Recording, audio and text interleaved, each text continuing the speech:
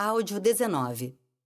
Já o arquiteto Robert Solomon apresenta, em novembro de 1953, uma primeira versão do projeto para a residência para o Excelentíssimo Senhor Doutor Paulo Rapaport, na qual o acesso ao hall da entrada principal está situado na mesma posição que nos projetos anteriores de Menuti e de Gotze, mas a distribuição dos cômodos é distinta, formando um pátio voltado para a Avenida Epitácio Pessoa e não para a praça.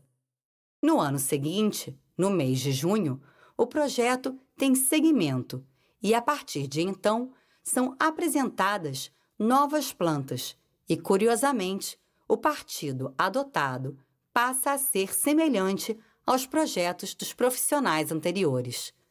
O vazio do pátio passa a ser voltado para a praça, com as diversas salas em torno dele, fazendo da fachada para a praça principal. O acesso principal continua sendo pela lateral esquerda do terreno, onde o hall leva ao elevador, escadaria e banheiros de visitantes. Na parte posterior estão as áreas de serviço, com cozinha e dependências de empregados.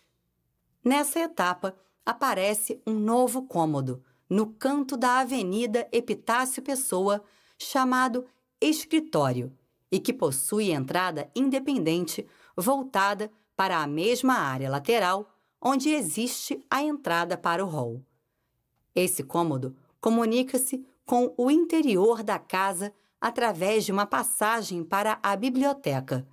É possível supor que fosse um escritório para que o advogado Paulo Rapaport pudesse receber clientes sem que estes tivessem acesso à residência.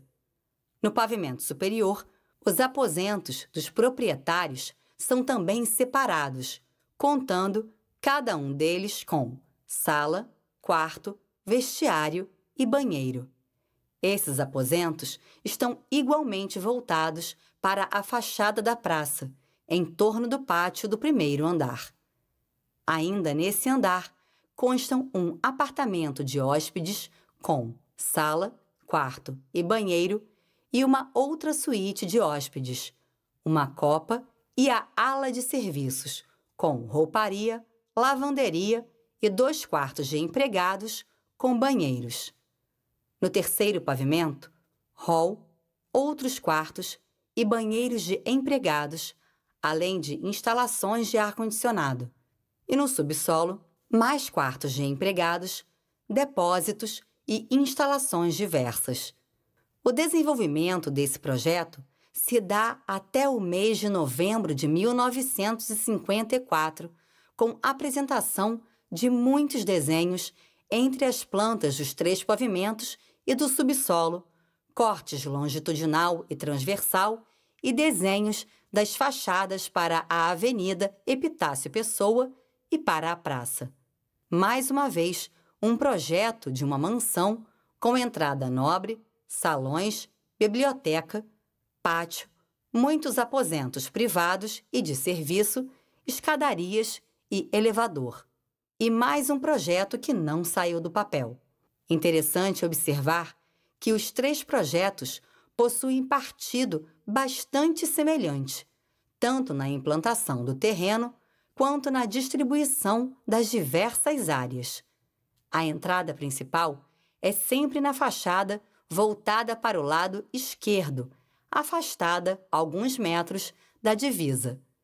É feita através de um hall com porta imponente, escadaria bem lançada, acesso ao elevador, ambientes de conforto, como vestiários e banheiros para visitantes e sala de telefonia. O hall dá acesso também ao grande salão e demais salas que se distribuem em torno de um pátio voltado para a praça. Assim, a fachada principal é sempre aquela voltada para a praça e não para a avenida principal, que é a Epitácio Pessoa. No andar superior, os aposentos do casal, sempre separados, seguem mais ou menos a mesma disposição e se voltam para esse vazio do pátio, havendo terraço no andar ou não. Os aposentos de hóspedes também seguem, de alguma forma, igual estrutura, com algumas alterações no número e na disposição, mas estão voltados para a fachada do lado esquerdo e da Avenida Epitácio Pessoa.